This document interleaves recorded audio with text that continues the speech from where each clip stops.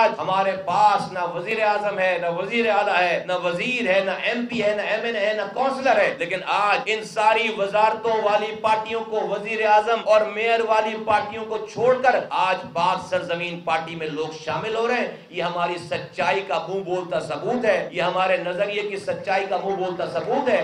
और ये इस बात का अंदिया है कि आने वाला वक्त पाक सरजमीन पार्टी का है। आने वाला वक्त इस मुल्क के मजलूमों का है, गरीबों का है। आने वाला वक्त इन लोगों को, हमारे शहर, हमारे सूबे, हमारे मुल्क को रंग नस्ल जुबानों की बुनियाद पर लूटने वालों के खात्मे का वक्त है इंशाल्लाह ताला। हम मिलकर बहुत करीब रह गई है मंजिल अब इंशाल्लाह ताला।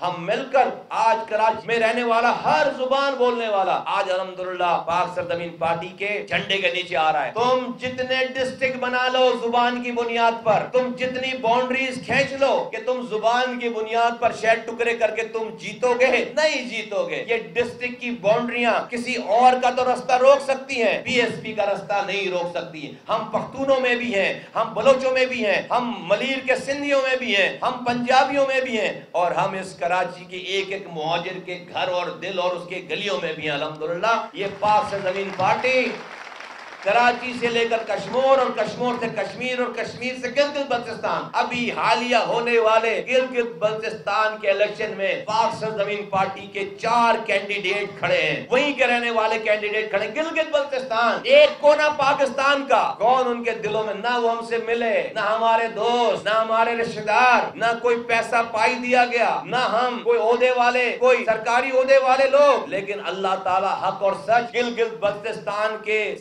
संगलाख पहाड़ों में रहने वाले लोगों के दिलों में भी उतार रहा है। अपने आप खड़े होकर, आज वो चार कैंडिडेट खड़े हैं, इलेक्शन कैंपेन चला रहे हैं बीएसपी का झंडा लहरा रहे हैं। मैं गया नहीं हूँ अभी तक वहाँ पर, लेकिन अल्लाह का शुक्र है कि बीएसपी वहाँ पर पहले से पहुँची हुई है। हमारी टीम गई थी अनीस भाई की क्यादत में। बीएसपी पहले से मौजूद थी, मौजूद है, और इन ताला हर जगह जगह बना रही है।